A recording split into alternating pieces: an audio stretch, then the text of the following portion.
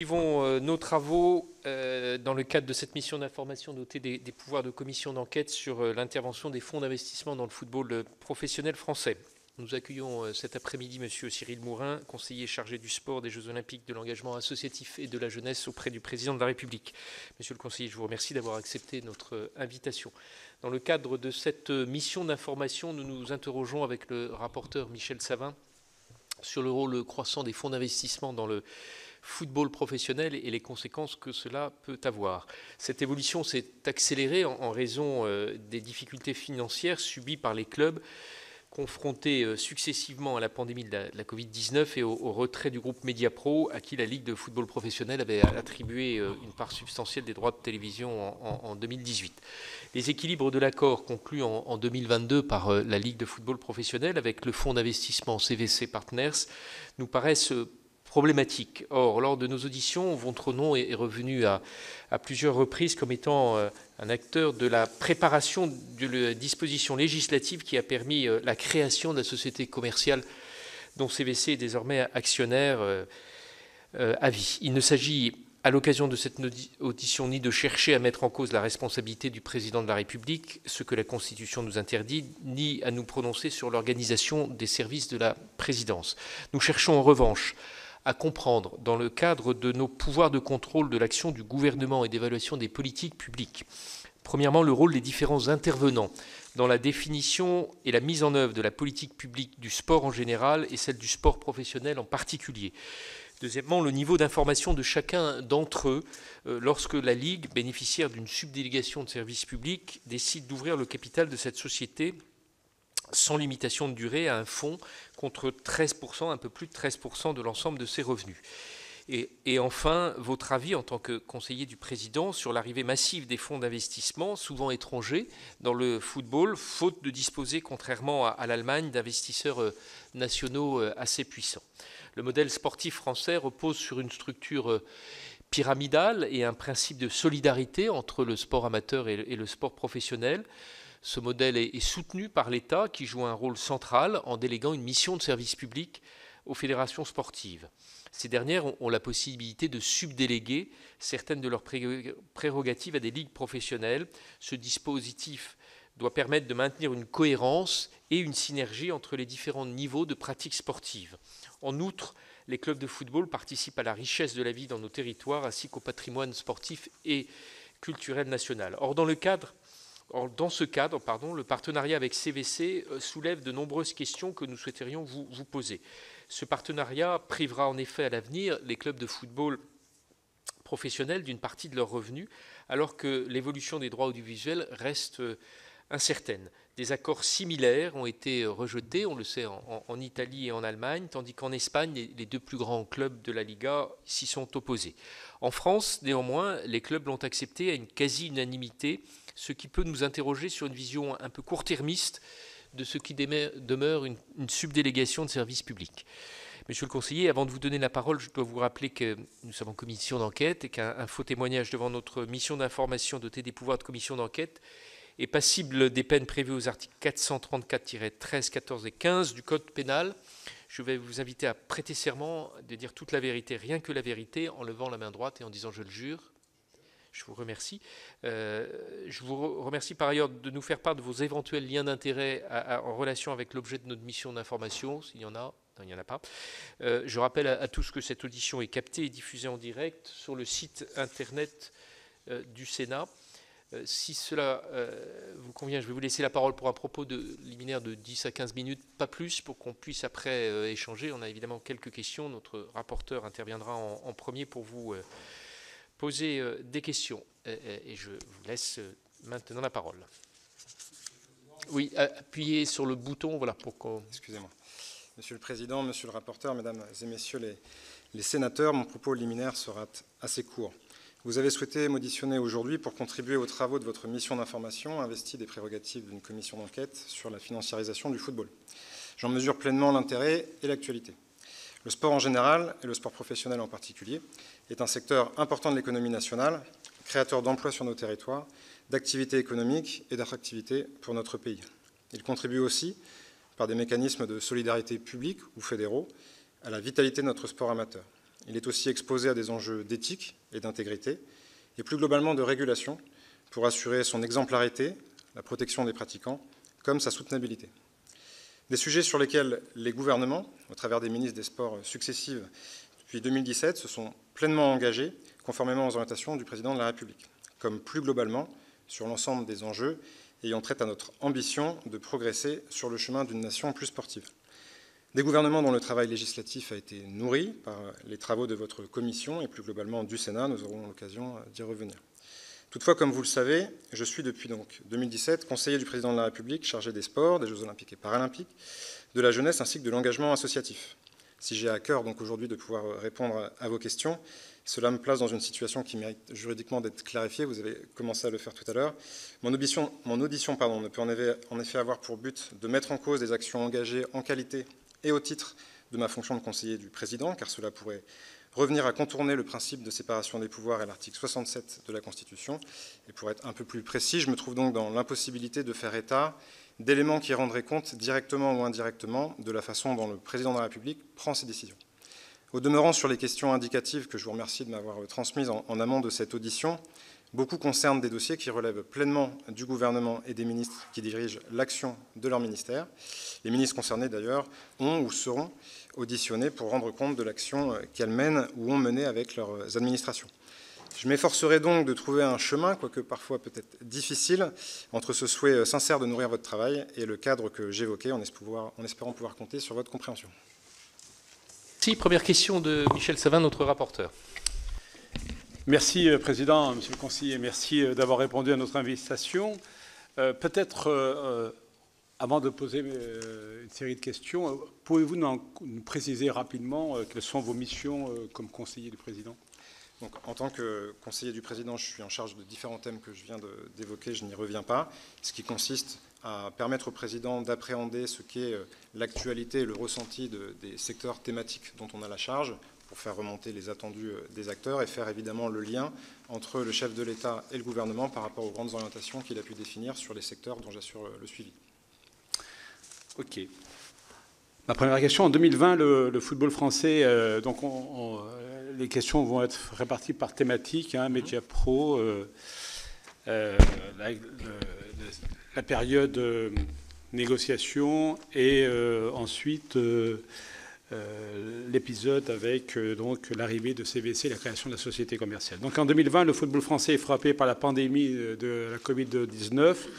Fin avril, le Premier ministre annonce l'arrêt et la fin de la saison 2019-2020. Pourquoi avons-nous été euh, le seul pays à prendre une telle décision Les grands championnats se sont terminés, certes, et joués à huis clos, euh, mais sont allés à leur terme dans le règlement, euh, avec le règlement des droits TV, donc avec des ressources, ce que n'a pas pu avoir la Ligue française. Avez-vous participé de près ou de loin à cette décision? Le, chef de l'État et le Premier ministre de l'époque ont étroitement échangé sur l'ensemble des décisions eu égard aux, enjeux de, confinement et ses conséquences. Moi, je n'avais pas à en connaître, euh, mais euh, je suis obligé de vous renvoyer un peu vers à la fois mon propos liminaire et vers les autres acteurs des sujets de confinement, car la question que vous posez est plus générale. Donc, pour vous répondre de manière plus précise, pourquoi le championnat a été arrêté? Parce que les prescriptions sanitaires qui étaient euh, délivrées ne rendaient plus possible la poursuite du championnat.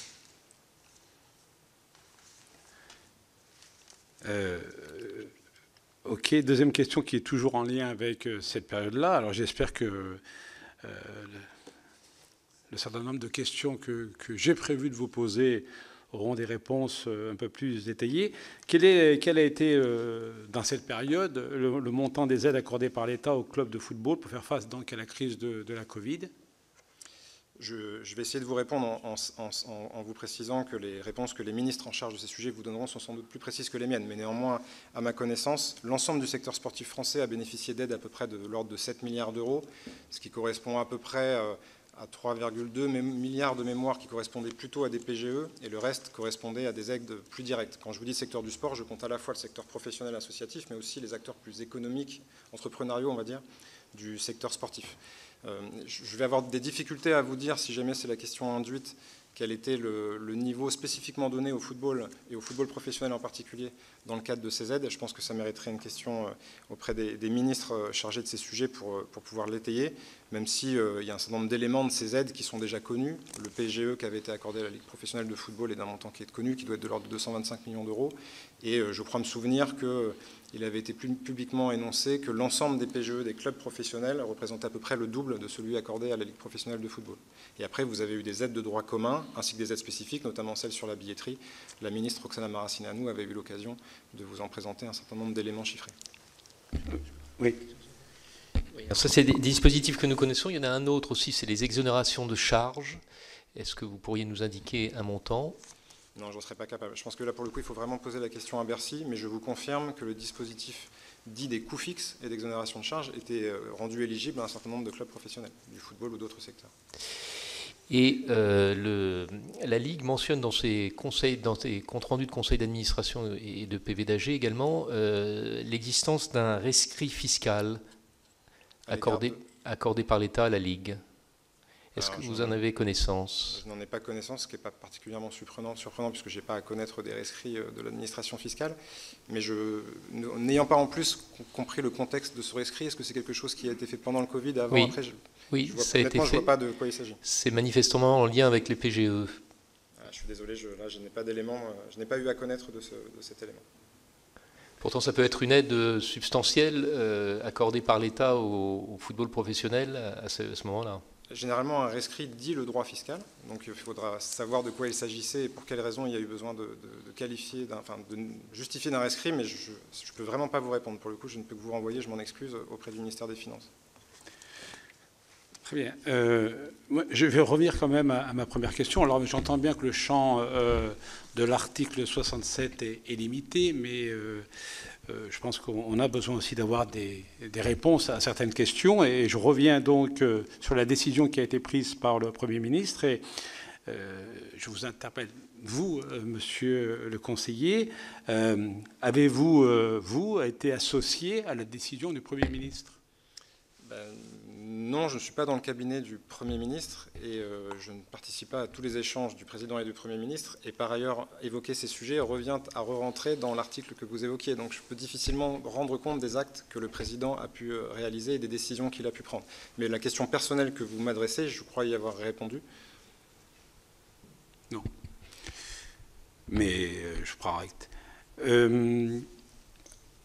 Avez-vous alors, par contre, vu de, vos responsabilités et, la connaissance que vous avez du milieu du sport, alerter, parce que les sommes que vous avez annoncées sont quand même importantes, hein, ce qu'a coûté cette décision prise euh, euh, par le Premier ministre à l'époque. Avez-vous alerté le Premier ministre sur les conséquences donc, euh, financières et économiques que ça allait impacter sur le football français, en sachant encore que, je le répète, les autres championnats sont allés au bout avec bien sûr des conditions difficiles mais en, ayant la possibilité de continuer à percevoir les droits TV, ce qui n'était pas le cas en France. Vous me demandez si j'ai alerté le Premier ministre. Peut-être vous vouliez, dire, vous vouliez dire le Président, mais sur, euh, sur ces sujets.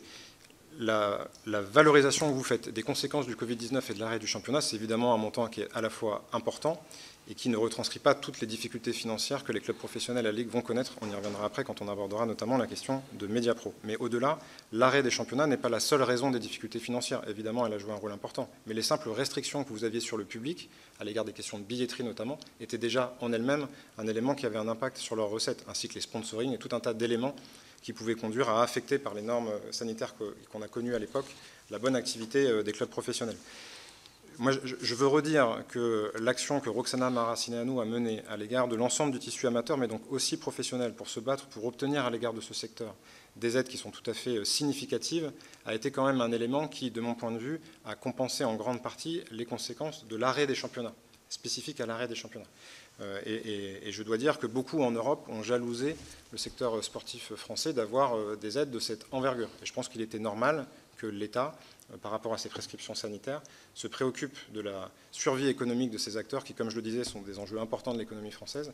Et donc il y a des aides qui ont été déployées d'importance, tout en étant, il est vrai, pas du niveau de l'ensemble des pertes. Mais il est parfois difficile, de mon point de vue, lorsque vous allez regarder les pertes de la Ligue ou des clubs, d'aller séquencer, d'aller différencier ce qui relève de manière spécifique du sujet euh, des conséquences du Covid dans les budgets annuels des clubs et de la partie média pro, parce que les deux sujets, on y reviendra, sont dans le temps assez proches finalement. S'ajoute même un troisième sujet que nous a bien précisé le président de, du, DNCG, c'est le fait que les, clubs étaient en mauvaise situation financière avant même la crise sanitaire et avant même la rupture du, du contrat par Mediapro. Quelle était la vision de l'État justement sur la situation financière des clubs, indépendamment des deux crises que nous mentionnons? Je pense que la, situation oui, il était le La, situation, pardon, le regard qu'on porte sur ces sujets a été celui qui a en partie motivé les actions qui ont pu être menées pour essayer de concourir à la compétitivité du sport professionnel français. Il y avait des problèmes spécifiques à certains clubs et puis il y avait de manière structurelle des sujets qui nous encourageaient à essayer de travailler sur ces sujets. Et c'est notamment une partie des éléments qui ont nourri, je pense au premier contrat professionnel ou à d'autres sujets, les travaux législatifs qui ont pu être menés dans, ce cadre-là. Après, sur le sujet de l'attractivité du football professionnel français, il y a beaucoup de questions qui, ont déjà été posées ou qui vous intéressent sur la stratégie propre à la Ligue et aux clubs, sur lesquels on est malgré tout obligé de renvoyer vers la Ligue et les clubs. Je pense que l'État est dans son rôle de fixer un cadre de travail qui est respectueux d'un certain nombre de principes d'éthique et d'intégrité, de soutenabilité d'essayer de lui permettre de bénéficier de mesures euh, d'attractivité aussi, mais ça reste la décision de ces acteurs, qui sont des acteurs responsables économiquement, que de définir la bonne stratégie. je pense que l'État est dans son rôle en restant à distance de ces sujets dans ce cadre-là. Euh, vous avez évoqué, euh, et on va, aborder le sujet, l'épisode Mediapro, bien sûr. Donc après, vous avez tout à fait raison, après la, la période de la Covid, le football professionnel a une deuxième, deuxième très gros sujet à, traiter, c'est euh, la situation de Mediapro. En septembre 2020, Mediapro se met donc euh, sous la protection du tribunal de commerce et, en décembre, donc, la Ligue valide un accord à la sortie de Mediapro autour de, 100 millions d'euros. Entre septembre et fin décembre 2020, euh, on sait qu'il y a eu beaucoup de, discussions dans le cadre de la négociation hein, pour essayer de trouver une solution. Il y a eu des propositions qui ont été faites par Mediapro, refusées par la Ligue de nouveau d'autres propositions faites par la Ligue. Euh, avez-vous, vous, euh, eu des contacts avec euh, M. Rouras de Mediapro? Alors, dans le cadre de mes fonctions, euh, vous m'avez demandé de rappeler en quoi elles consistaient tout à l'heure à l'égard du président. Je suis amené à rencontrer tout un tas d'acteurs de l'écosystème sportif, a fortiori ceux qui sont concernés par une actualité donnée.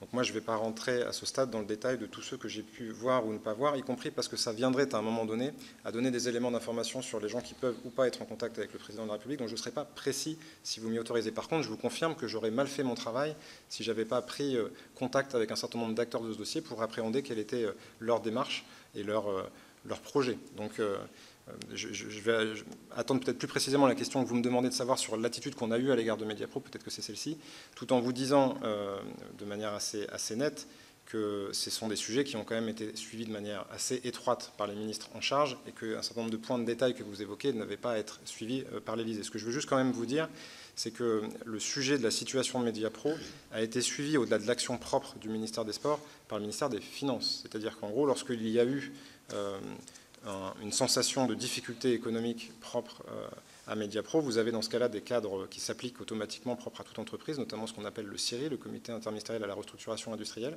qui a fait le suivi de ce dossier. Donc c'est une de vos réponses, euh, enfin c'est une réponse à ce que vous essayez de, cerner, de, de, préciser sur quelle a été mon implication personnelle.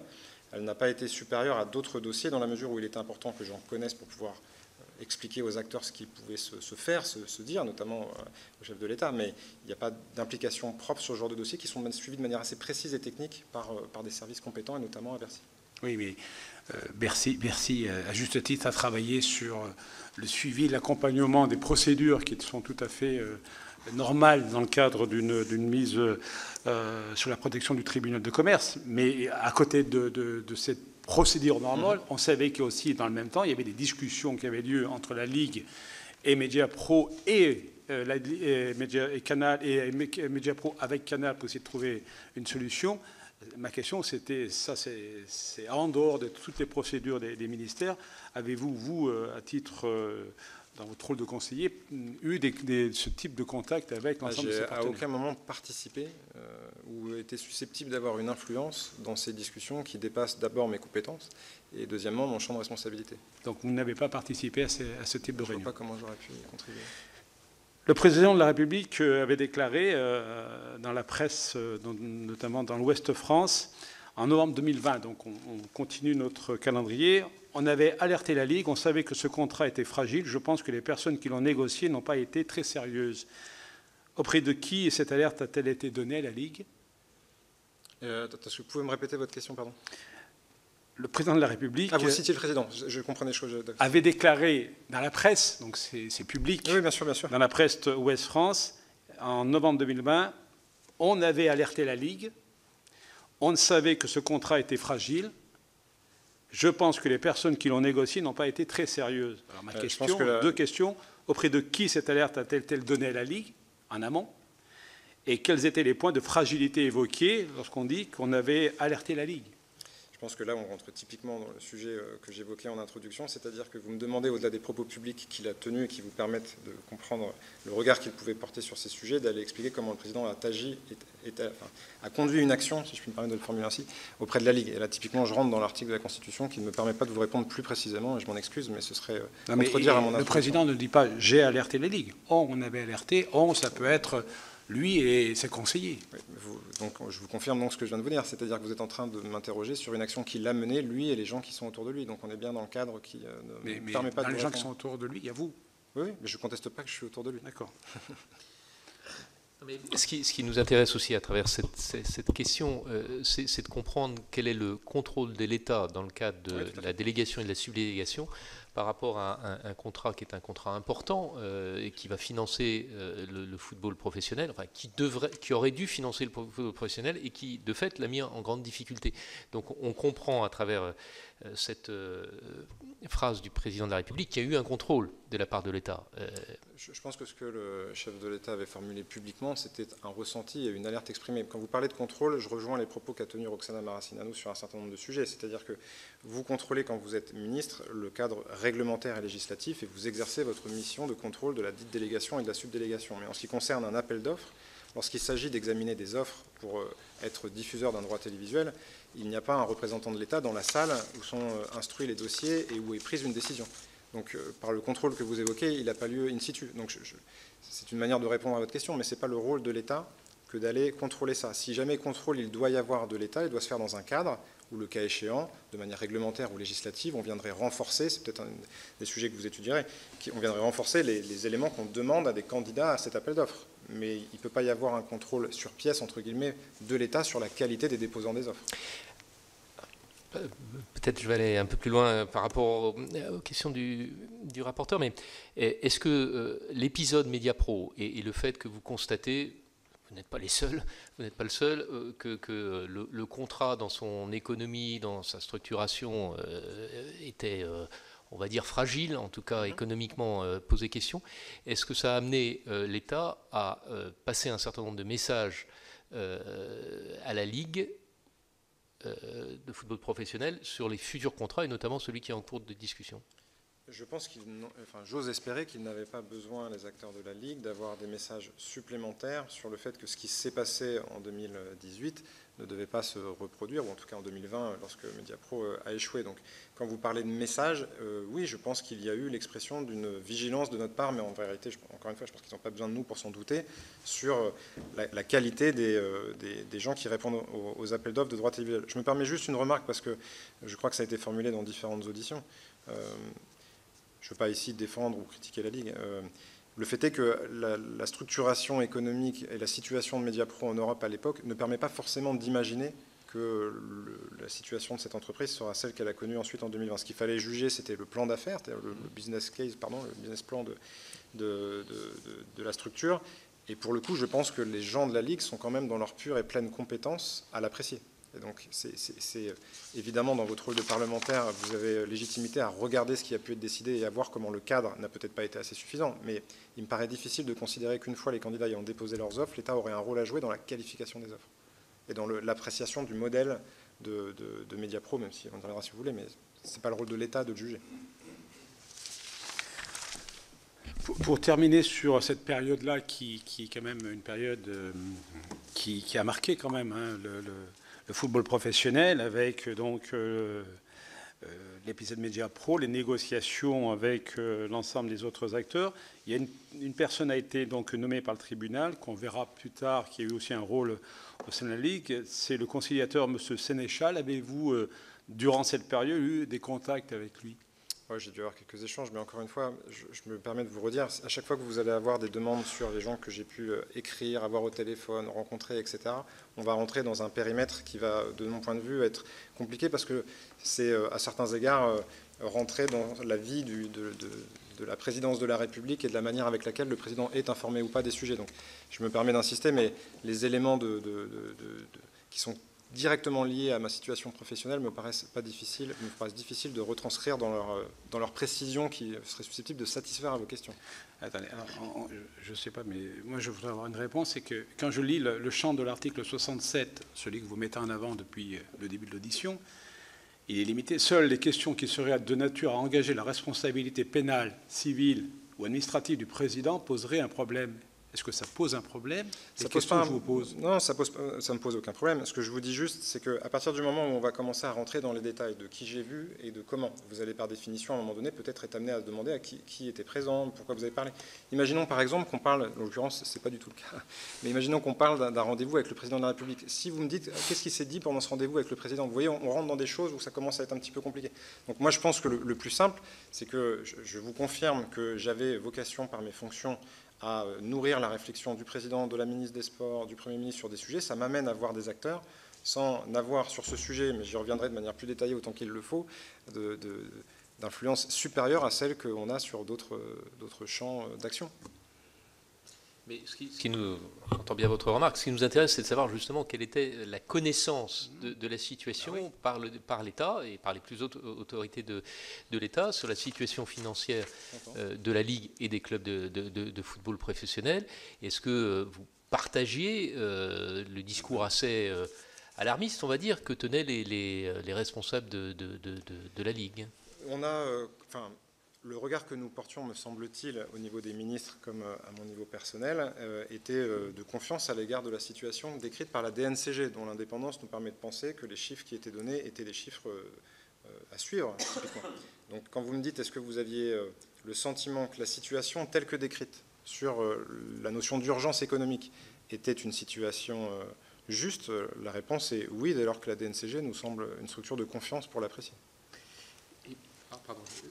Et est-ce que, euh, parce que l'État a apporté un certain nombre de réponses financières euh, aux difficultés, que, ce soit les, PGE euh, de la Ligue, des clubs, les, exonérations fiscales et, l'aide à la billetterie, est-ce que ces aides, de votre point de vue, étaient suffisantes pour faire face aux difficultés financières du football professionnel? Ces aides, elles avaient vocation à couvrir la difficulté née du Covid.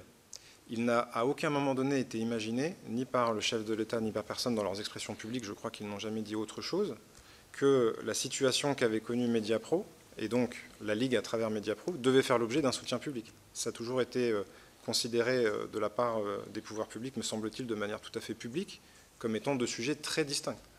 Donc il n'y a pas dans le soutien public apporté au club d'éléments qui seraient connectés à la question des droits télé et entre nous, heureusement, me semble-t-il. Oui. La difficulté, euh, c'est que les deux événements arrivent en même temps et que d'un point de vue comptable ou d'un point de vue financier, c'est difficile de dire euh, quel est l'impact de, l'un et quel est l'impact de, l'autre. La, neutralisation de ces sujets dans la manière dont les clubs ont été aidés, c'est que le, sur le sujet billetterie, la question ne se pose pas. Et sur les aides, elles ont, pour la plupart d'entre elles, été adossées aux résultats des clubs de l'année précédente. Et donc en fait, nous n'étions pas sur l'application du précédent contrat. Donc il n'y a pas d'intégration dans l'analyse de l'évolution des budgets des clubs euh, d'effet sur la situation Mediapro, puisque c'est le budget de l'année d'avant que nous regardons.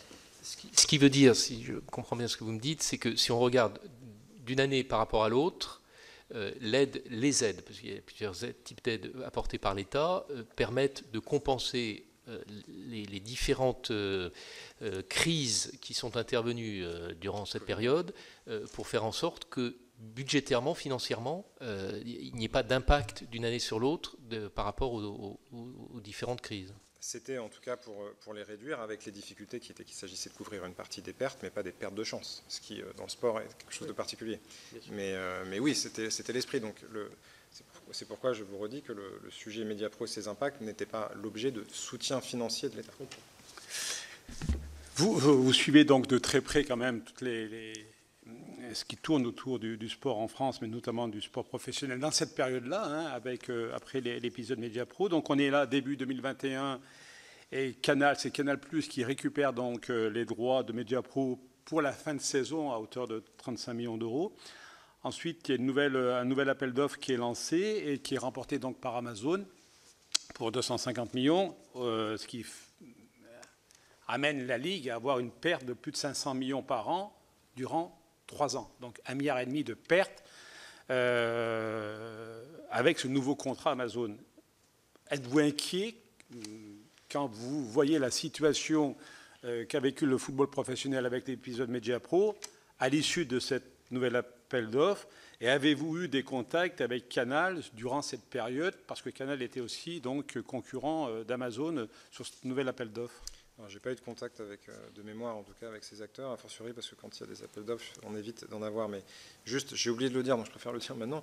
Sur tous ces sujets sur lesquels vous avez euh, le souhait de comprendre quelle est mon implication, je rappelle que l'essentiel de mon implication, elle vient aussi des contacts que j'ai avec les ministères qui voient tous ces acteurs. Donc moi, j'ai aussi euh, tout un tas de conseillers dans les cabinets ministériels, etc., qui parfois me narrent et m'expliquent ce qu'ils ont pu dire ou faire ou échanger avec les acteurs que, vous évoquez, ce qui rend parfois moins nécessaire de les voir moi-même puisqu'ils ont, ils ont déjà été vus.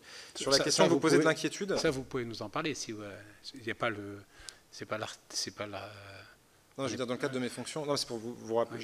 le, le, sens de ce propos, c'est de rappeler la prédominance qui paraît évidente, mais comme je ne l'ai pas encore dit, je préfère le dire, des ministères dans le suivi de ces sujets, puisqu'ils sont très impliqués euh, auprès des acteurs concernés. Je pense que c'est important que je vous le précise. Sur euh, la, le ressenti de l'époque, mmh. euh, oui, je, je pense qu'il y a par définition une inquiétude. Elle tient à, deux éléments. Euh, elle tient au fait qu'on arrive à désormais pouvoir euh, euh, acter et préciser l'écart de revenus pour les clubs entre ce qu'ils auraient pu espérer de Mediapro et ce qu'ils vont avoir à la fin. Et on sait qu'un certain nombre de clubs, lorsque vous avez la saison précédente commencé à peut-être engager des projets de transfert ou de recrutement ou d'évolution salariale de vos effectifs, vous l'aviez fait avec un budget prévisionnel qui, le cas échéant, souvent intégrait déjà ce qui, à leurs yeux, était une recette certaine sur les droits télévisuels. Et donc, quand euh, vous avez euh, cette baisse, on mesure qu'il va y avoir, même si beaucoup l'avaient déjà anticipé dans les premiers mois de la saison, euh, il va y avoir des effets assez, assez, assez forts sur la nécessité de réduire les budgets et de s'adapter à, à ce nouveau contexte. Donc vous êtes inquiet? Oui, je pense que c'est préoccupant. À l'automne 2020, donc, la Ligue lance le projet de la société commerciale on passe euh, à l'étape suivante, qui aboutira donc 18 mois plus tard. Euh, d'après vous, quand l'idée d'une société commerciale a-t-elle commencé à germer au sein de la Ligue? Je pense de, longue date, parce que lorsque j'étais encore à l'époque conseiller ministériel en 2016, et que d'ailleurs le rapport de messieurs Lozac et Kern l'évoquait, la Ligue de l'époque, dans ses instances, était déjà amenée à réfléchir sur ces sujets. C'était à ce stade de l'époque assez exploratoire, on va dire. Mais ça a toujours été un sujet depuis, à mon avis, une dizaine d'années qui est étudié, regardé, sans que ça ait été plus loin à l'époque. D'accord. Euh, savez-vous si, euh, parce que l'épisode donc, de la, société commerciale est aussi euh, un lien avec la, nouvelle gouvernance au sein de la Ligue, hein, avec l'arrivée de, de, Vincent Labrune, euh, savez-vous si euh, le président, donc euh, Labrune, était déjà en lien avec CVC lors de son mandat d'administrateur à la Ligue? J'ai aucun élément pour répondre à votre question. Je pense qu'il faut que vous lui demandiez. D'accord. La première donc, étape de la société, la création de la société commerciale passe par le vote de l'amendement hein, qui a été déposé en séance par le député Roussel à l'Assemblée nationale sur le texte de la loi visant à démocratiser le sport en France. Euh, permettant donc euh, la création de cette société commerciale par les ligues. Euh, cet amendement n'avait pas fait l'objet d'un travail préalable avec les services du ministère des Sports, mais répondait en revanche à un travail de la Ligue de football. Comment expliquez-vous que cet amendement n'ait pas été fait l'objet de discussions en amont dans, dans le ministère? Bah, c'est euh, le, contexte d'une proposition de loi déposée donc, au Parlement. Donc, ce n'était pas un projet de loi. Donc, vous avez euh, une initiative parlementaire qui fait l'objet d'un certain nombre de textes. Le ministère euh, l'a ensuite. vous allez poser une question tout à l'heure, hein, monsieur. le ministère l'a ensuite, l'a ensuite retravaillé, mais donc on, suit la procédure tout à fait classique du Parlement sur ces sujets. Qui arrive en séance qui arrive en séance. Je pense que le sous-entendu de votre question, c'est est-ce que le projet... Le sous-entendu. Ma question, il n'y a pas de sous-entendu. C'est ce qui s'est passé, L'amendement arrive en séance et on ne peut pas reprocher au ministère qui euh, euh, découvre cet amendement lorsqu'il est déposé, qu'il est mis en ligne, de ne pas avoir eu le temps de, le travailler. Je, pense que sincèrement... Euh, pardon? Oui, oui, allez-y. Je pense sincèrement qu'il a été vraiment connu peu de temps avant sa discussion par le ministère. je comprends qu'il est... Oui, oui, c'est bien. Président Caner veut Oui, euh, je suis heureux de retrouver euh, M. Moura. Je le dis pour la, Commission, M. Moura était mon directeur adjoint de cabinet quand j'étais ministre, du fait qu'il était directeur de cabinet de M. Braillard, mais il a eu euh, la, gentillesse de, ne pas remonter avant 2017. Euh, la parenthèse. sur, la dernière remarque de M. Moura hein, concernant les PPL d'initiative parlementaire, je veux dire, il a beaucoup de respect pour le Parlement, je n'en doute pas un seul instant, mais je sais que la pratique des PPL téléguidés par le gouvernement, ça peut exister aussi quelque part. Je ferme une autre parenthèse. Euh, Monsieur Mourin, donc, euh, quelques questions euh, complémentaires qui vont dans le sens du président Lafont et du rapporteur Savin. tout d'abord, les, relations entre, je pourrais en témoigner, les, relations entre la FFF, cette puissante FFF, euh, et, euh, l'État, souvent se règlent, euh, non pas dans l'agenda de l'Élysée, mais en tout cas au plus haut sommet de, l'État. Vous, vous, nous direz, le monde du football a une place particulière dans le sport français. Peut-être vous nous le confirmerez en tant que tel, dans le respect de l'article 67 de la Constitution. Euh, deuxièmement, euh, selon les informations que nous commençons à glaner au travers des différentes euh, auditions, l'Élysée aurait pris une part particulière dans le dossier CVC. En effet, il semblerait que le président de la République, l'actuel, soit très intéressé sur les questions des droits TV dans le football. Quand je lis d'ailleurs des articles dans Le Monde il y a quelques jours avec le visage sympathique de l'ancien président de la République, pas celui que j'ai connu, mais euh, le précédent, euh, sur les négociations 2024-2029 sur les droits TV, nous pouvons un peu, au moins, être, sinon inquiet, en tout cas être interpellé sur, euh, sur le sujet. Donc euh, euh, la question de, l'implication du président de la République sur les droits TV, notamment pour la période à venir, cette, cette tractation avec l'émir du Qatar qu'il a reçu récemment, est-ce que, d'une manière ou d'une autre, vous êtes associé à cet intérêt? L'accord avec CVC a été supposé professionnaliser le secteur des droits TV euh, mais il semble plutôt révéler un autre euh, entre-soi, un mélange des genres, une intervention étatique de plus en plus, pour nous, inappropriée. Donc, euh, est-ce que vous partagez ou pas ce sentiment? On vous écoutera avec attention sur le sujet en écho d'ailleurs à un, petit un article de, la lettre A que j'ai aussi rappelé à, la ministre, Roxana Maracineanu sur CVC. Est-ce que vous partagez cette affirmation qui est paru le 23 mars 2022, à 6h30 très précisément, l'entrée du géant CVC Capital Partners au capital de la nouvelle filiale commerciale de la Ligue de football professionnel a été arbitrée à l'Elysée. Dossier préparé par les banques Centerview et Lazare a été agréé par le secrétaire général de l'Elysée en personne Alexis euh, Collère. Donc est-ce que c'est quelque chose que vous vous confirmez ou pas, on, aura plaisir à vous entendre. Et enfin, une question plus anecdotique. Euh, vous n'avez pas pu être entendu à l'Assemblée nationale sur la commission d'enquête concernant les fédérations sportives. Euh, j'ai sauf erreur de, ma part, l'Élysée s'y étant euh, opposé, pourquoi aujourd'hui nous avons le bénéfice, très sympathique, de pouvoir vous entendre ici au Sénat? Je commence par la dernière question. N'y voyez pas une affection supérieure au Sénat par rapport à l'Assemblée nationale, sinon mes camarades députés nous en voudraient tout simplement parce qu'en en fait, on ne peut pas ne pas répondre à une audition. Euh, lorsque informé euh, des conditions dans lesquelles l'audition devait avoir lieu par mon directeur de cabinet, M. Lafont a souhaité maintenir cette audition. Euh, lorsque la présidente de la commission de l'Assemblée nationale a été informée du cadre, elle a préféré ne pas la maintenir. Je suis tout à fait respectueux du cadre des, auditions qui me sont soumises. Merci de vos questions parce qu'elles me permettent de clarifier plusieurs points au-delà de celui-ci. Donc, je, fais un peu l'inverse de, vos questions. Je, je réponds à celle sur la lettre A. Je ne sais pas si vous l'avez lu aujourd'hui. Euh, la lettre A dit aujourd'hui que j'ai été appelé par M. Lafont justement sur les conditions de mon audition. Je pense que lui euh, pourra confirmer que nous ne nous sommes pas eus. C'est tout ça pour vous dire que les informations de la lettre A ne sont pas toujours justes. Et dans le cas d'espèce, elles ne le sont pas du tout. Euh, pour une raison très simple, c'est que l'État n'a pas à donner d'avis sur le choix du fonds d'investissement. Et je veux dire de manière très nette et claire, sans qu'il y ait aucune ambiguïté. Nous n'avons ni à donner d'avis et nous pas, enfin, nous n'avons pas eu la demande d'en avoir l'État n'agrée pas, je crois qu'il y a le mot d'agrément qui est indiqué euh, dans l'article que vous citez, euh, et je dois dire que ça a suscité beaucoup de surprises de notre côté parce qu'on n'a pas d'agrément à donner, donc l'État n'a pas d'avis à donner sur, ces sujets, donc c'était assez surprenant ce que j'ai pu lire, et donc je vous infirme l'information qui, est, qui est donnée. Alors, le micro pour... À l'époque, il y a eu une démarche qui avait été engagée, euh, éventuellement même de diffamation, hein, ou en tout cas de correction de l'article. L'honnêteté m'oblige à vous dire que si nous devions, sur chaque euh, fausse information donnée sur les sujets qui sont les miens, euh, réagir et demander une, correction, on y passerait beaucoup de temps. Et donc, oui, je, pense que le service de presse, c'est pas mon métier, mais le service de presse de l'Élysée a dû dire l'étonnement des uns et des autres sur cette information, mais je vous confirme qu'elle est, qu'elle est mauvaise. sur vos autres questions.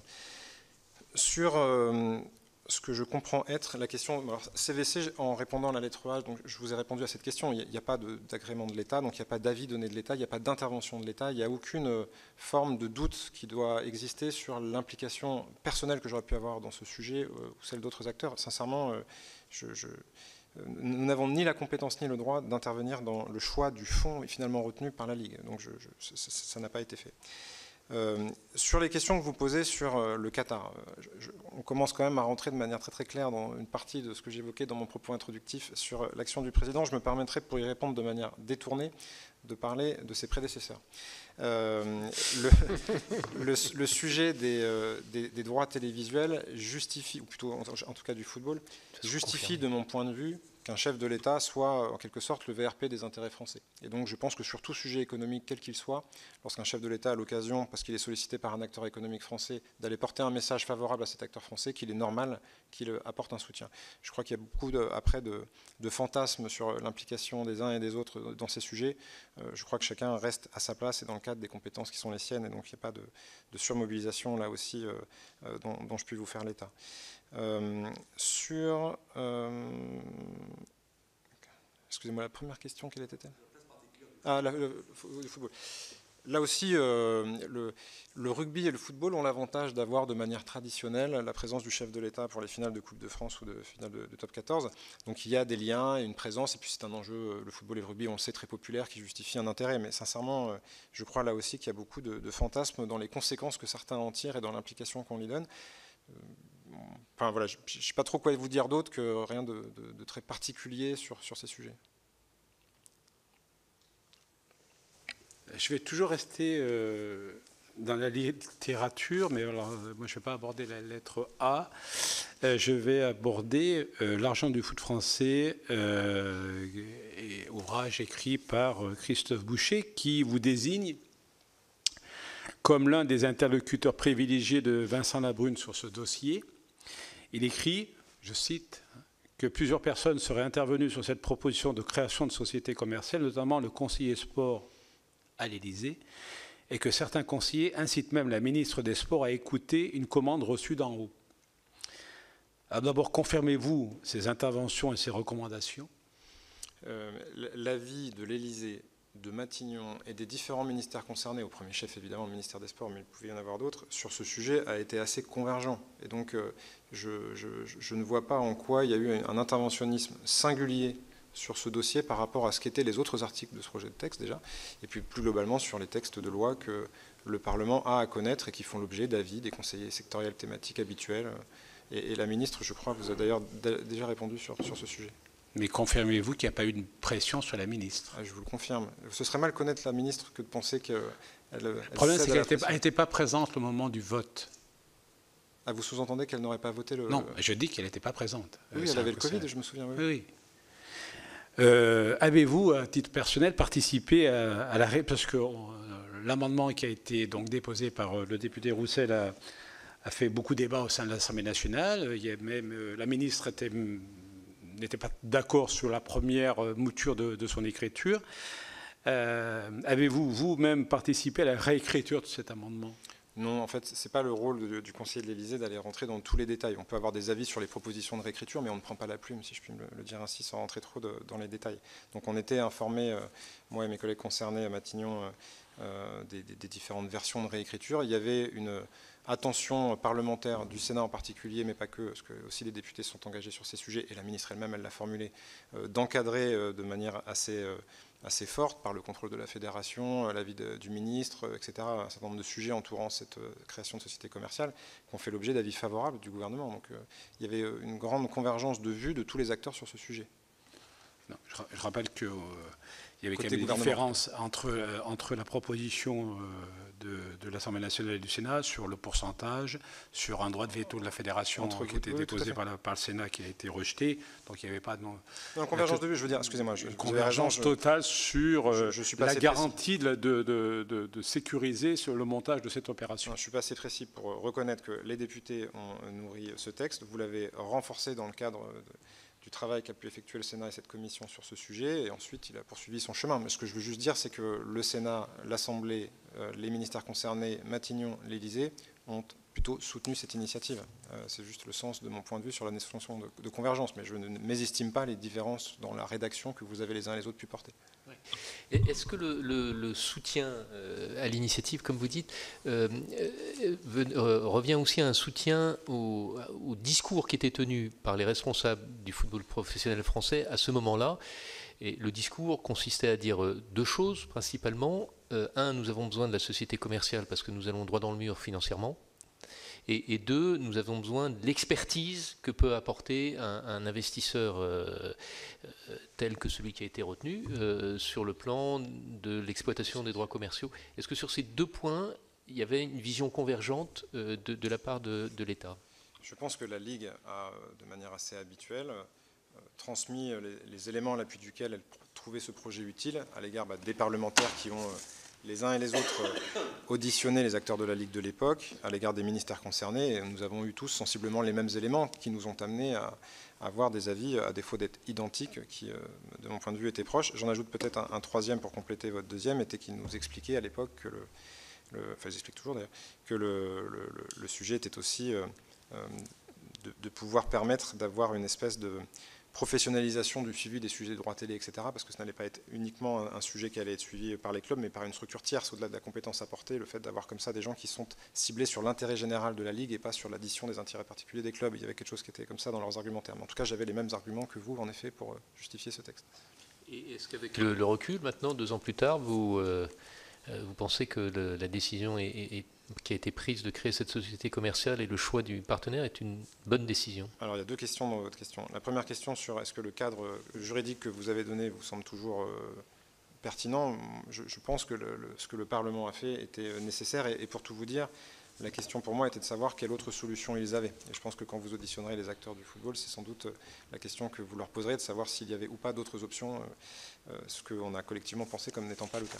Et après, vous m'interrogez sur le deuxième sujet, quel est, l'avis que je porte sur le choix du fonds d'investissement. Ça, pour le coup, vous me permettrez de pas vraiment avoir d'avis. Je peux en avoir un si vous voulez, qu'on boive un café à l'issue de cette commission. Mais la réalité, c'est que le, le, champ de contrôle de l'État, le cadre d'action, etc., fait qu'il n'est pas censé avoir un avis sur le choix du fonds. Sur la question des modalités économiques, vous voulez dire? Non, non, ce n'était pas sur le choix du partenaire, c'est le fait qu'il apporte, qu'il apporte quelque chose d'un point de vue euh, technique, notamment dans euh, l'amélioration des, des, recettes euh, issues des, droits télévisés. En fait, ce que j'avais compris de leur projet, c'est pour reprendre le point que je vous disais tout à l'heure, c'est-à-dire en gros l'intégralité des sommes que perçoit la société commerciale au titre des droits télévisuels ne sont pas intégralement reversées à l'intégralité des clubs. Une partie est conservée pour réaliser un travail euh, de, prospective, etc., sur les actions que la Ligue peut mener. Pour prendre un exemple, je me souviens euh, par, euh, dans la presse qu'il y avait eu un débat d'acteurs qui s'étaient un peu émus que sur le digital, par exemple, la Ligue investisse assez peu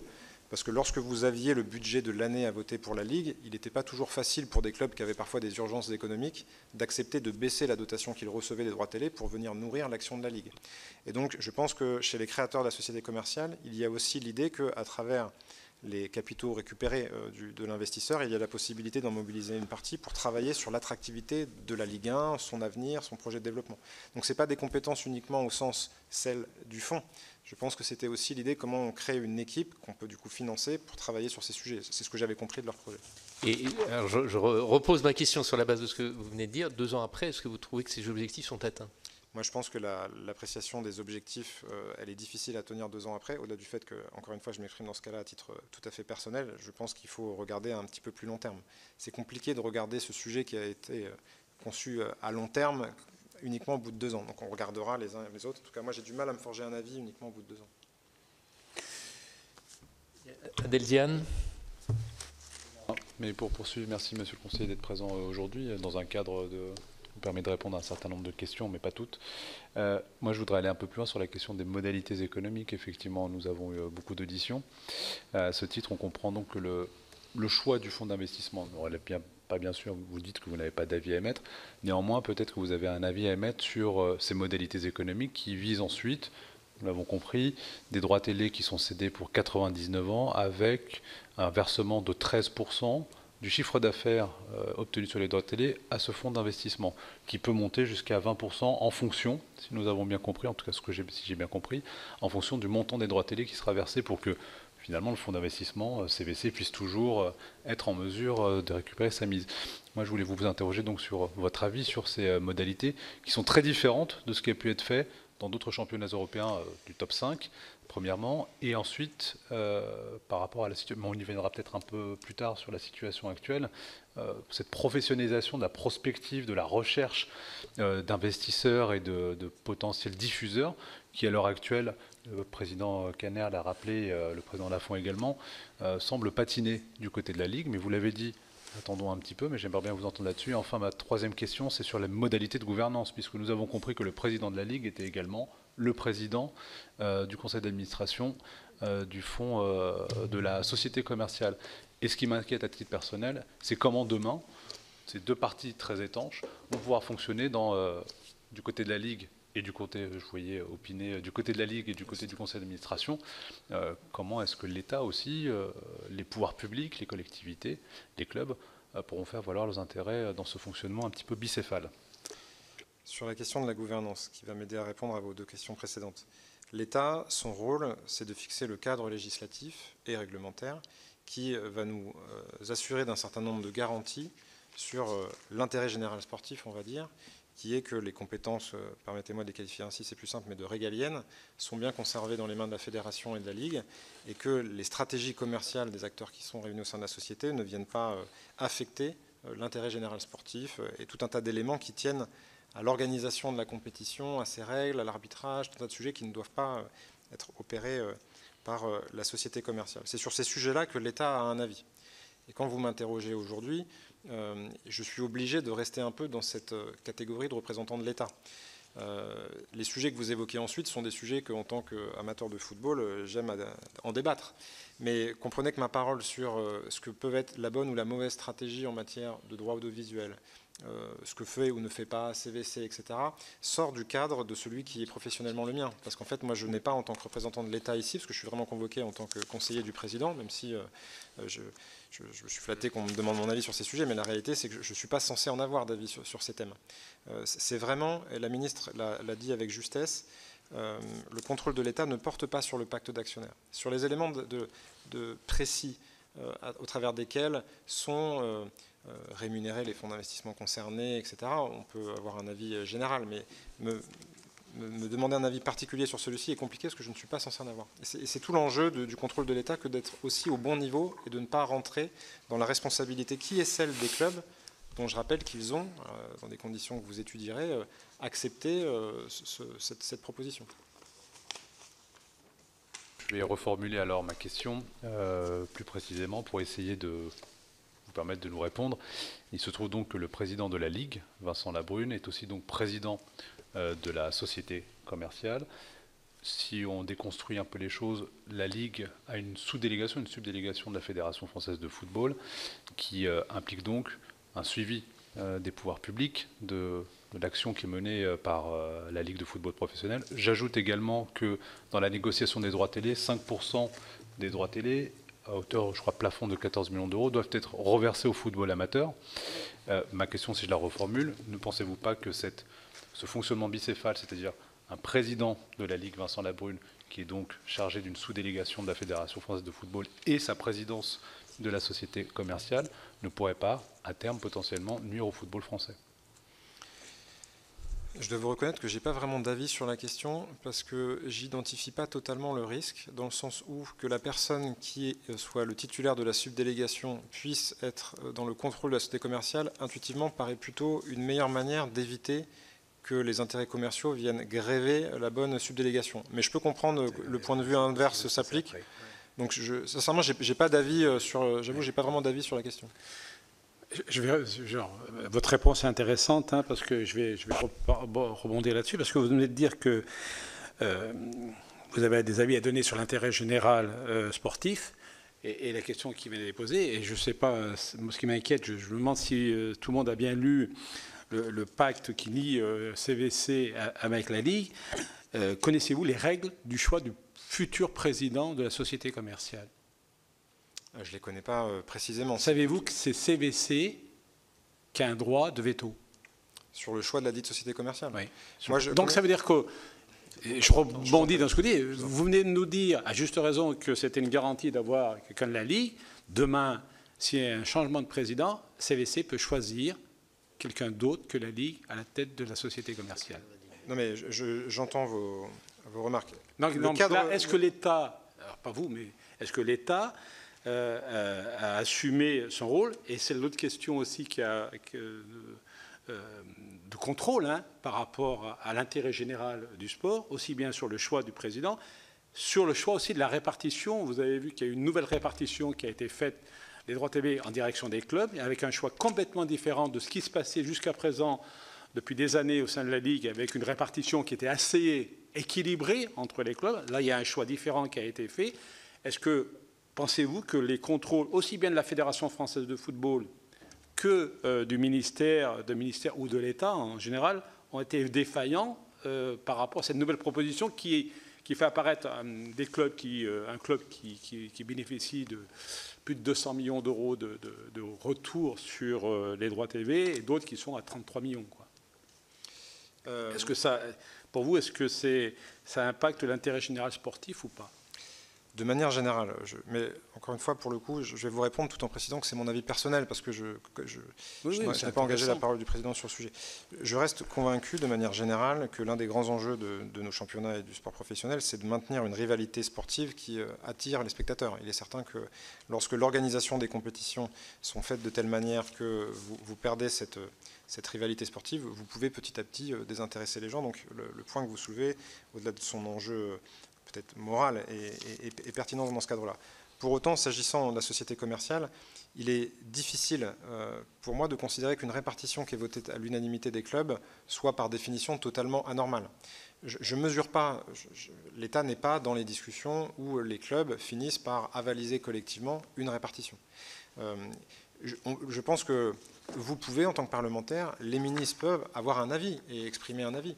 Mais on n'est encore une fois pas dans le cadre du contrôle de l'État. Et donc, c'est compliqué d'aller au-delà de ces propos un peu, généraux parce que euh, le fait est que l'intérêt de l'État, c'est de s'assurer que la loi est respectée, que le cadre réglementaire est respecté, que les clubs sont bel et bien mis en situation de prendre de manière éclairée les décisions qui sont prises. Et sur la question de la répartition, il me semble qu'elle a fait l'objet d'une information au club et qu'ils l'ont voté. Donc j'ai le sentiment que modulo ce qu'on peut individuellement en penser, le cadre que l'État avait posé a été respecté. Et, euh, je, pense pour, euh, que, les arguments qui ont été euh, à l'appui de cette répartition ont dû être jugés suffisamment convaincants pour que les clubs la suivent. On a entendu lors des, auditions des clubs nous dire que cette décision a été prise sous la pression aussi du président de la Ligue sur les clubs. J'ai eu peur, je croyais que vous alliez me dire du président de la République. non, j'ai bien compris votre article 67. Non, enfin, sincèrement, je, je, y a, comment vous dire il y a dans l'écosystème du football professionnel français, euh, on ne va pas s'en cacher, euh, des jeux d'acteurs qui ont existé, qui existent et qui existeront. Euh, moi, je ne sais pas qui, dans cet écosystème d'acteurs, a intérêt ou pas à attaquer tel ou tel autre. Ce que je peux juste vous dire, c'est que ce n'est pas le rôle de l'État que d'aller commencer à regarder dans les détails la manière avec laquelle le cadre réglementaire et légal ayant été respecté, les décisions au sein de la Ligue sont prises. Je pense qu'il est important que la Ligue elle ait une gouvernance qui nous fasse honneur, qui soit organisée dans de bonnes conditions. Et je constate que depuis plusieurs mois, pour avoir connu des époques un peu différentes, il y a plutôt, euh, en tout cas dans les votes que vous avez évoqués, dans les décisions que vous avez évoquées, euh, une forme de consensus à défaut d'unanimité pour avancer dans les mêmes directions. Donc moi, de ce fait, j'ai pas tant d'avis à donner sur le fond que de constater que sur la forme, ça a l'air de rassembler une très large majorité des clubs concernés, et c'est plutôt réjouissant du point de vue de l'État, me semble-t-il. Pour revenir un petit peu sur cette, cette notion d'intérêt général que défend l'État, et fort heureusement, par rapport au, foot professionnel, bon, on comprend bien que euh, vos, moyens de surveiller les, le respect de cet intérêt général, ça passe euh, par la. Euh, par le, notamment les, statuts, de la, le contrôle des statuts de la, société commerciale. Est-ce que vous avez eu connaissance de, du pacte d'actionnaires? Parce que dans le pacte d'actionnaires, il peut y avoir un certain nombre de clauses qui interfère, voire remettre en cause justement la, notion d'intérêt général. Pas, pas, à mon niveau, moi je n'ai pas eu à en connaître parce que je n'avais pas à en connaître d'abord. Et j'ai cru comprendre, puisque j'ai écouté l'audition de la ministre, qu'elle non plus n'en avait pas eu connaissance. Est-ce une faute? De la part de la ministre? De, de, de l'État Sincèrement, je reviens à ce que je vous dis depuis euh, quelques questions. Je pense que nous, il est normal qu'on fixe le cadre et qu'on euh, vérifie que la loi est respectée dans les statuts de la société commerciale qui, sont, euh, qui comportent des prescriptions légales et réglementaires.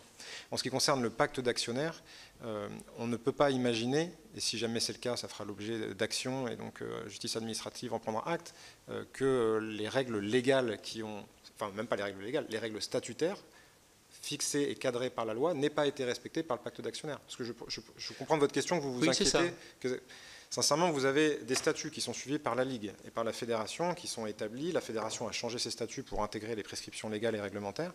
Euh, on imagine mal que les acteurs qui euh, votent ces dispositions du pacte d'actionnaires aient pu ne pas mesurer que des statuts n'auraient pas été respectés, ceux de la Ligue ou de la Fédération.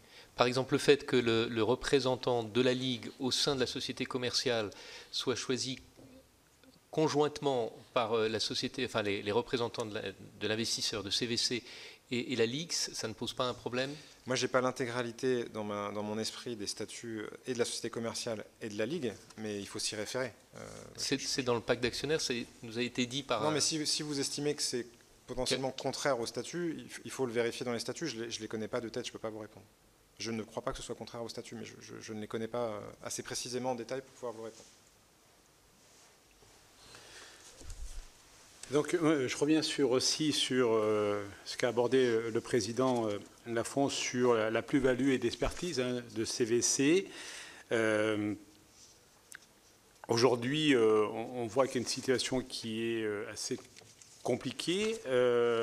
Pensez-vous que CVC donc, apporte en termes de, de droits commerciaux tout ce qui a été annoncé au moment de son arrivée, lorsqu'on voit qu'aujourd'hui, la discussion sur euh, les, futurs droits TV euh, sont en grande difficulté, euh, pour pas dire en, panne Moi, pour répondre à une question que je n'ai pas répondu tout à l'heure, pas d'informations particulières à vous donner sur ces sujets de, la négociation actuelle que mène la Ligue. Ce que je peux juste constater, si j'essaye de, prendre un peu de distance, et encore une fois avec mon avis personnel, quand vous me demandiez, parce que ça, rejoint votre question, le bilan à deux ans et pourquoi j'ai du mal à le tirer de, l'arrivée d'un fonds d'investissement dans, la Ligue ou bien la valorisation de la Ligue est euh, trop forte de la part du fonds, parce que les droits télé de la dite Ligue vont baisser.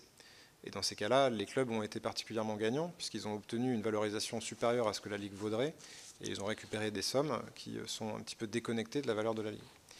Ou bien euh, il se trouve que ces droits commerciaux vont augmenter fortement, et donc il pourrait y avoir de la part de certains le fait de se dire, perdre 13% d'une somme qui avait été sous-estimée au départ, c'est regrettable. Mais la réalité est que dès lors que vous gagnez peut-être plus, 13% justement, au-delà de la valorisation de vos droits, vous êtes dans une forme de rentabilité sans avoir. vous, gagnez plus d'argent que ce que vous n'en gagnez avant, si c'est le, strict point qu'on regarde.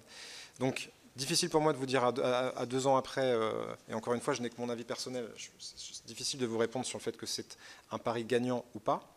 Euh, et difficile de juger de l'apport de CVC dans les droits de télé dès lors qu'on n'est pas dans une, dans une négociation achevée. Euh, je, pourra constater ensemble ce qu'elle est à son issue. Difficile par ailleurs euh, de savoir quel a été le rôle positif ou négatif de, des acteurs nouveaux autour de la Ligue dans euh, cette négociation. Euh, juste pour bien comprendre, le fonds ne risque rien. Le fonds ne risque rien. il a mis, s'il met un milliard et demi. Pas dit l'inverse. Oui, les 13%, il sait qu'il récupérera les 13% sur 99 ans. Euh, quel que soit le montant des droits TV, il sera même prioritaire. Ce sont les clubs qui si les droits TV ne sont pas à la hauteur de ce qui était espéré, seront les grands perdants. Et ce n'est pas CVC qui sera le grand perdant. CVC sera prioritaire à 13%, plus même cette année, parce qu'il y a les deux premières années sur lesquelles il y a un rattrapage qui doit se faire euh, sur les prochains contrats. Donc on voit bien que CVC, euh, quoi, la société, le, partenaire n'a pas de, risque lui. Alors peut-être ce sera plus long pour récupérer son milliard et demi, mais il le récupérera si c'est pas en 10 ans, c'est en 12 ou en 13 ou en 14 ans. Par contre, si les droits TV sont fortement en baisse, c'est bien les clubs qui, se voient, qui vont se voir en grande difficulté. Et avec la répartition euh, qui est aujourd'hui faite par la Ligue. Je reviens par rapport à ce que vous disiez tout à l'heure sur euh, le fait d'attirer les spectateurs et d'avoir un championnat équilibré. On voit bien qu'il y a un déséquilibre entre les répartitions qui sont faites. Mais ça, c'est un problème de la Ligue. Aujourd'hui, on entend euh, dans la presse, euh, au vu des difficultés, que la Ligue réfléchit sur la création d'une chaîne 100% Ligue 1. Est-ce que vous êtes informé Est-ce que vous avez été euh, contacté, euh, vous à titre personnel, dans votre rôle de conseiller sport? Euh, enfin, Comme je vous l'ai déjà dit au début, dans le, dans le cadre de mes fonctions, j'essaie de comprendre quelles sont les stratégies et les intentions de chacun pour anticiper comme on le peut, en tout cas au niveau de l'État, et d'ailleurs le ministère le fait tout autant, même plus que moi, les, les, actions futures. Donc oui, on est informé de cette, de cette réflexion, mais il est certain que c'est plus simple d'interroger la Ligue sur ce projet pour que vous en ayez les détails. D'accord on interrogera la Ligue, hein, rassurez-vous, euh, en, temps voulu. Euh, à titre personnel, on, a bien vu que dans cette, euh, sur toute cette période, il y a eu, soit avec Mediapro, soit après dans la négociation avec le nouveau contrat, des difficultés, on peut pas dire des tensions, entre la Ligue et Canal+. Euh, Canal+, partenaire historique qui, euh, qui a soutenu et qui soutient d'autres sports. On le voit avec le nouveau contrat avec la, Fédération française, avec la Ligue de, rugby.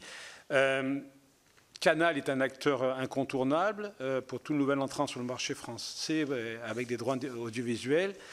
Quel est votre avis sur la situation de Canal+, et sur les relations qui, qui entre Canal+, et la Ligue? Et est-il possible d'envisager le foot français sans Canal? C'est une vaste question. Euh, donc toujours avec mon, avis personnel, je tiens quand même euh, à le préciser. Moi, je, vais être peut-être un peu plus singulier que, d'autres sur ce sujet. J'ai tendance à penser que le côté un peu, euh, je ne sais pas comment le qualifier, romanesque ou sentimental des relations entre les uns et les autres pèse beaucoup dans ces sujets. Je pense que Canal est un acteur rationnel qui a eu à un moment donné des choix à faire qui a constaté que le prix euh, tel qu'il lui était euh, proposé de la Ligue 1 était euh, au-delà de son niveau de rentabilité et qui a déployé une autre stratégie pour préserver un parc d'abonnés important. Et d'ailleurs, cette stratégie a plutôt factuellement bien fonctionné. il a aujourd'hui pas particulièrement de raison de totalement révolutionner une stratégie qui, de ce que j'en comprends des interventions qui sont faites publiquement par le groupe, fonctionne.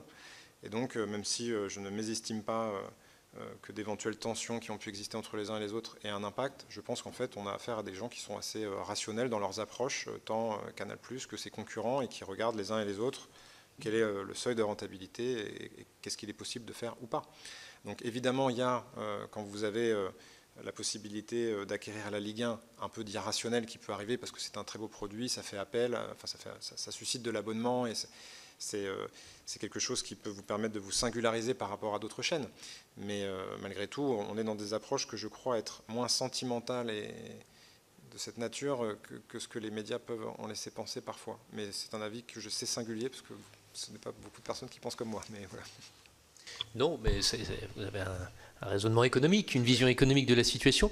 Euh, mais quand le président de la Ligue nous dit on, aura un milliard de recettes et que manifestement les valorisations sur le plan strictement économique, sans mettre de romanesque dans l'appréciation, sont loin du milliard, quel est le point de vue de l'État? Euh, Pour des raisons liées évidemment, euh, par ailleurs il y a la taxe buffet, d'autres éléments de solidarité entre le sport professionnel et le sport amateur qui fait qu'on est évidemment euh, vigilant à la bonne soutenabilité économique du secteur et à ce que leurs projections soient rationnelles et conformes à ce qu'on peut espérer.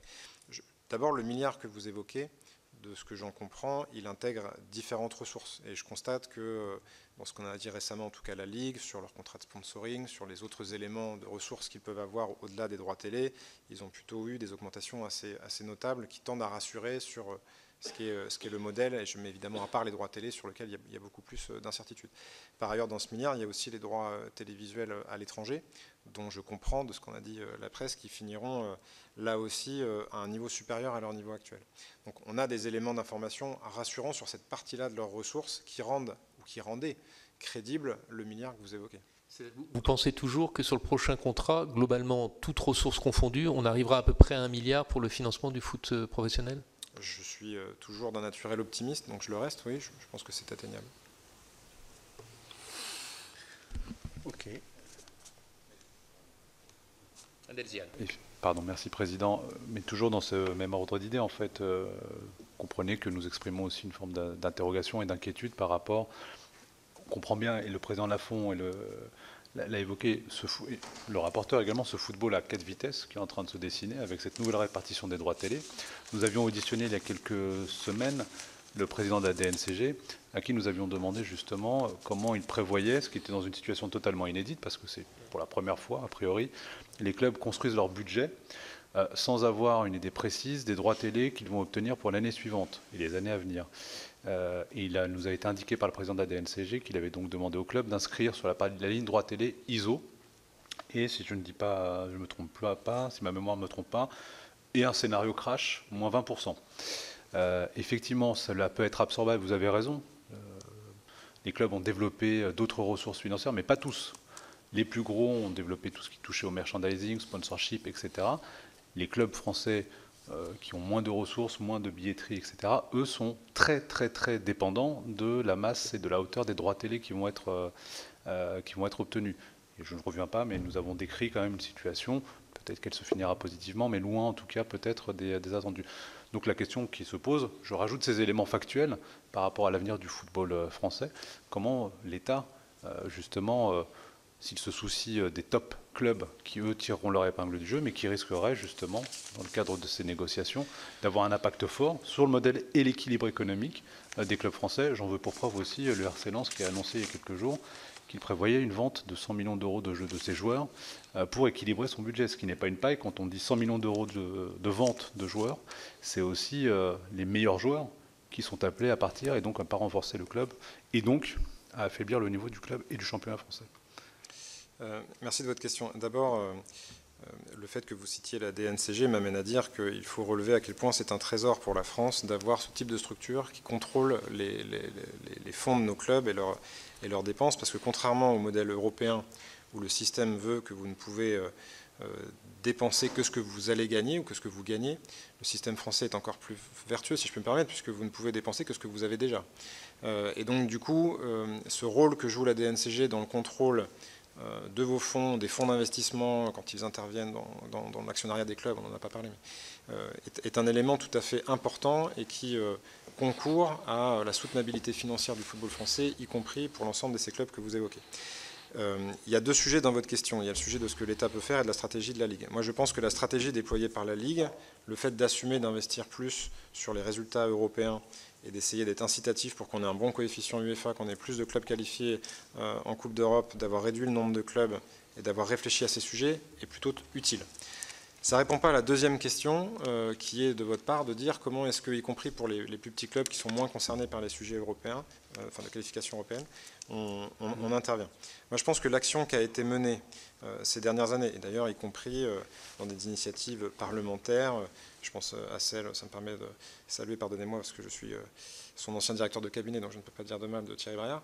Mais euh, lorsqu'on a passé en 2016 la loi qui a notamment traité et encouragé la propriété par les clubs de leur stade, qu'on a qu'on a traité les questions de la manière avec laquelle le numéro d'affiliation de l'association sportive, parce que vous savez qu'il y a un lien étroit en France qui n'est pas le modèle allemand, mais qui quand même existe entre l'association sportive et, la, société, la société sportive, tous ces éléments-là, euh, compléter ensuite des éléments sur le premier contrat professionnel, etc., concourent petit à petit, progressivement, et il faut qu'on y contribue, à, construire un modèle sportif français qui, de mon point de vue, doit assumer que nos clubs doivent moins dépendre de, pardon du terme, parce que ça reste des joueurs, mais de ces actifs mobiliers que sont les joueurs, et d'investir plutôt sur des actifs immobiliers, les centres de formation et les stades. Je pense que le modèle français où les stades n'appartiennent pas au club est un modèle qui expose les clubs à des risques et dès lors qu'ils veulent recourir dans des situations comme on l'a connu avec Mediapro le Covid à de l'emprunt, ils se retrouvent, parce qu'on ne peut plus, et c'est heureux par ailleurs, avoir des subventions publiques à l'égard de ces clubs, dans des situations de fragilité qu'il faut, faut combler. Et c'est d'ailleurs pour ça que les fonds, je l'espère, vous, vous l'étudierez, mais je n'en ai pas une connaissance exhaustive, euh, que les fonds de CVC sont bien orientés sur des dépenses d'intérêt général de cette nature. C'est-à-dire qu'on incite les clubs à orienter ces crédits sur les stades et sur les centres de formation pour constituer des structures qui sont plus pérenne que la venue d'un joueur et moins exposé euh, à ces sujets-là. C'est tout l'enjeu de, votre commission qui traite donc de la financiarisation du football que de réduire l'exposition au risque euh, de nos clubs et que typiquement on, évite qu'il y ait euh, des, fonds d'investissement qui, dans une vision court-termiste, exposent la structure du club en, achetant des joueurs, etc., à, en cas d'aléas sportifs ou de, mauvaises performances sportives, à devoir du coup mettre la clé sur la porte dans certains cas, ou en tous les cas dénaturer euh, la vie du club et, ne plus permettre de, subvenir à ses besoins. Donc on doit créer cet écosystème qui est à la fois compétitif pour le sport professionnel, qui lui donne une certaine soutenabilité, durabilité, parce qu'il n'aura pas uniquement un effectif comme propriété, qui maîtrise sa masse salariale. Et au-delà de ces deux éléments, j'ai parlé de la Ligue, j'ai parlé de l'État, on voit bien que derrière votre question, le vrai sujet, c'est le sujet de la manière avec laquelle l'UEFA et la FIFA, dans leurs prescriptions, accompagnent une régulation euh, un peu plus protectrice des clubs. Euh, on ne l'a pas évoqué, mais je pense que l'un des, enjeux de votre commission, c'est de voir quels sont les risques qui me paraissent pour le coup être les plus forts sur la multipropriété des clubs, qui est un sujet euh, préoccupant. J'ai lu dans différentes interviews euh, que, la FIFA et l'UEFA voulaient travailler sur ce sujet. Je pense que c'est heureux qu'ils le fassent, parce que ça ne peut pas relever, il y, a des choses qui peuvent relever de la France, mais c'est quand même un sujet très très international. et je pense que c'est important qu'on le regarde, parce qu'il y a des risques, des périls forts pour l'avenir du football si on ne traite pas ce sujet. C'était euh, le dernier volet de mes questions, c'était sur la multipropriété des clubs. Quelle est votre vision, vous, parce que c'est le cas déjà en France, mhm. des clubs euh, sont avec euh, une propriété commune avec des clubs étrangers? Et la deuxième question, qui est aussi un lien avec l'intérêt général sportif, la présence du même fonds d'investissement dans plusieurs ligues, parce qu'aujourd'hui on voit que CVC est présent sur la Ligue française, mais aussi dans d'autres ligues européennes. À vos yeux, y a-t-il un risque de voir euh, de nouveau revenir sur la table le projet d'une ligue fermée? Euh, ça aussi, c'est un intérêt quand même sportif euh, important. ça a été abordé il y a quelques années, ça a été aujourd'hui mis de côté. On sent que dans les, dans les déclarations des uns et des autres dernièrement, c'est un sujet qui revient en discussion. Euh, quelle est aujourd'hui euh, votre vision et, l'État euh, est-il alerté sur ce sujet? Est-ce que c'est des, discussions qui ont lieu au sein des différents ministères ou avec d'autres collègues au niveau européen? Donc je vous confirme, et notamment sous l'égide de, la ministre des Sports, Amélie Oudéa-Castara, que nous, on porte une, parole assez ambitieuse sur ces sujets au niveau européen pour que le modèle pyramidal du sport soit protégé ce qui implique à la fois d'en préserver euh, ce qui est une forme de culture européenne avec des compétitions ouvertes, et, euh, puis cette solidarité entre sport professionnel et sport amateur, dont on sait qu'elle sera euh, rendue bien moins possible si on a des systèmes où les, recettes sont captées par une, petite liste réduite de, clubs. Donc le projet de Super League tel qu'il a existé a été attaqué euh, par, la France, qui a clairement estimé son enfin, exprimé son inquiétude à son égard. Et donc, on est toujours, nous, dans une, euh, dans une optique où les ministres en charge continuent de porter au niveau européen le souhait d'une meilleure protection euh, des compétitions ouvertes. Pardon, excusez-moi. Oui, oui, juste sur ce point-là, quel est votre pouvoir de bloquer si demain un des clubs français acceptait de rentrer dans une ligue fermée Quel est aujourd'hui votre pouvoir de blocage? Alors, le ministère des Sports a un certain nombre d'éléments, type de la délégation et de la subdélégation, à l'égard du fait qu'il peut être, en type de sanction, c'est notamment ce qu'avaient évoqué les, clubs anglais, ils peuvent être euh, exclus de leur propre championnat national. Alors vous allez me dire si la Super League est attractive au point que le club ne préfère pas jouer dans le championnat national, c'est sûr que ça devient plus compliqué, mais il y a, d'autres éléments qui, font que le bénéfice que vous aviez du modèle sportif français, vous ne les auriez plus. Euh, l'accès à un stade, pour certains clubs, va être rendu plus difficile. Euh, il y a tout un tas d'éléments de cette nature sur lesquels vous pouvez intervenir, les conditions dans lesquelles vous avez un centre de formation, etc. Enfin, il y a des, éléments de cette nature. Après, il est certain que je pense que si on a aujourd'hui aucun club français qui s'est inscrit dans cette démarche, c'est parce qu'il mesure que c'est un modèle totalement différent et qui, de mon point de vue, n'est pas viable. Parce qu'en réalité, euh, Enfin, c'est encore une fois une, opinion euh, personnelle, même si pour le coup elle a été défendue officiellement par le chef de l'État. Donc je ne travaille pas. Euh, ne parlez pas du chef de l'État. Un avis différent. ne parlez pas de. Autrement, on vous sort l'article 67. Euh. Mais vous avez raison, vous avez raison de corriger. Vous avez raison. Mais on a. On a on a, sur, enfin, on a, sur, ces sujets une, une, position constante qui est que, un, il faut permettre aux États de protéger leur législation qui fixe des cadres d'intérêt général sur le sport professionnel. Je donne un exemple. On sait bien que la question des joueurs formés localement est un sujet de débat au niveau européen. Je pense que c'est une bonne chose que les championnats français, pour certains en tout cas, aient décidé de protéger la formation française en prévoyant des, joueurs formés localement. Il me semble préoccupant qu'à terme, il puisse y avoir dans l'Union européenne des règles qui euh, potentiellement ne permettent plus euh, à des championnats nationaux de, protéger cette formation. Et donc, pardon, je, je, reviens juste sur la Super League. Au-delà des éléments, je le disais, de, de moindre solidarité entre clubs. Je pense que la question des, championnats fermés, elle, n'est pas de culture européenne.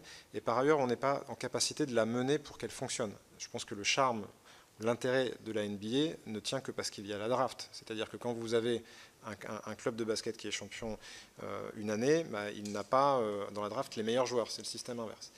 Les acteurs de la Super League voudraient le côté NBA, mais sans la draft. C'est-à-dire qu'ils ne veulent pas de régulation financière, pas euh, de système où les joueurs sont encadrés, etc. Donc c'est un tout autre système. Et donc je pense qu'on on aurait les, désavantages euh, de la NBA sans ces avantages. Donc je, crois vraiment que le modèle de, Ligue fermée est un modèle qui peut fonctionner, qui n'est pas conforme à la culture européenne et qu'on n'est pas capable de mener à ce stade dans un, dans un continent tel que le nôtre, parce que c'est ni la culture de nos pays, ni celle de nos supporters. Et, on a raison de, de, ne pas, de, ne pas, la vouloir, parce que je pense que je, suis supporter d'un club qui n'est pas tous les ans en Ligue des Champions. Je crois que le charme aussi de la gagner et de la jouer, c'est de ne pas savoir tous les ans si on va la jouer et d'en éprouver d'autant plus de plaisir à la regarder qu'il y a une forme de rareté. Et donc je, crois beaucoup en cela et je crois que cette culture européenne, elle se joue aussi là-dedans, c'est d'avoir ce sentiment que n'importe quel club, s'il est sportivement capable de gagner sur le terrain, pourra finir au plus haut niveau européen. Et ça, à mon avis, c'est le, le sel du charme de nos compétitions. Et, sur la multipropriété des clubs, on voit bien que la DNCG a quelques inquiétudes parce qu'on voit bien les, le,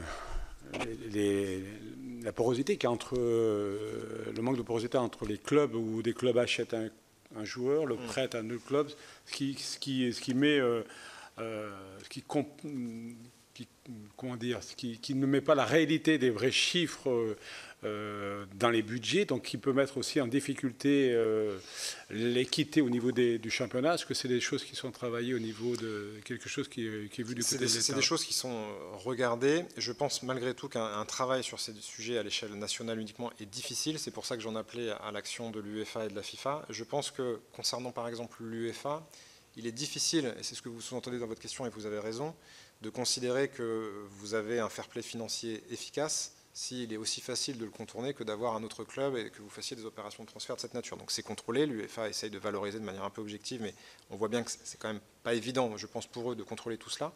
Donc je, vous confirme que de, mon point de vue, mais c'est mon avis personnel, le, grand risque dans les sujets que vous évoquez, c'est vraiment celui-ci. Je pense que le, le, fait de pouvoir contourner un certain nombre de règles de régulation qui étaient jugées suffisamment bonnes et d'intérêt général pour que l'UEFA les prenne elle-même, tout ça est menacé si jamais on ne, met pas un peu de cadre pour contrôler ces éléments de, multipropriété. Je précise par ailleurs, pour revenir à, la question du cadre que l'État a mis sur euh, euh, la, société, commerciale de la Ligue, que dans les éléments de décret qu'on a déployés, on a évidemment été attentif à ce qu'il ne puisse pas y avoir dans l'actionnariat de la dite société commerciale de la LFP des actionnaires de clubs, de diffuseurs, etc. Vous avez dû voir le, décret parce que ça participe du même, du même état d'esprit que d'éviter ce genre d'éléments de, de, conflit d'intérêts entre les acteurs.